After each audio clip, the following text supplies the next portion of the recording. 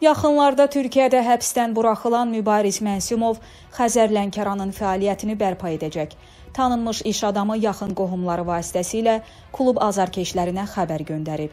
O futbol sahəsi ilə birdəfəlik vidalaşmadığını, Palmalinin işlərini qaydasına salandan sonra bu məsələyə vaxt ayıracağını bildirib. Mənsimov Xəzər Lənkəranı satmağı yaxud kiməsə tapşırmağı düşünmədiyini elan edib. Biznesmen zaman nişan verməyib. Bununla belə klubun dönüşünün tezliklə baş verməsinə çalışacağını diqqətə çatdırıb. 2004-cü ildə yaranan Xəzər Lənkəran 2016-cı ilin mayında çıxışını dayandırıb.